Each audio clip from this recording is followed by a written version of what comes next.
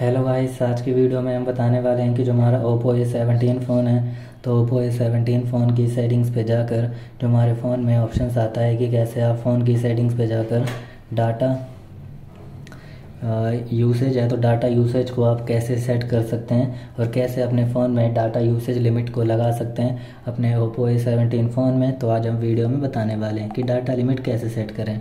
तो video start करने से पहले हमारे चैनल को लाइक करें सब्सक्राइब करें और साथ में ही बेल आइकन दबाने ना भूलें। तो वीडियो स्टार्ट कर लेते हैं। तो आप देख सकते हैं कि फ़ोन के आइकन्स हैं शोर हैं तो आपको स्वाइप करना है।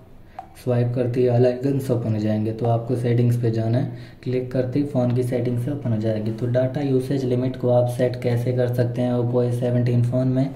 तो सिंपली आपकी सेटिंग शो हो रही है। तो आपको सर्च करना है डाटा यूसेज पर यहाँ पर डाटा यूसेज में कोई भी ऑप्शन शो नहीं होगा तो आपको डाटा लिमिट पहले सर्च कर लेना है। तो डाटा लिमिट सेटिंग से आ जाएगी। इस पर जाकर जो भी आपके फ़ोन की लिमिट है, उसको आपको सेट कर सकते हैं यहाँ से। ऑफ़ कर देंगे तो सेट नहीं कर पाएँगे और ऑन करते हैं तो आप लिमिट वगैरह को लगा सकते हैं। जो भी लिमिट आप सेट करना चाहते हैं, यहाँ से डाटा लिमिट को आप सेट कर पाएँगे, जो भी आप लिमिट सेट करना चाहते हैं तो।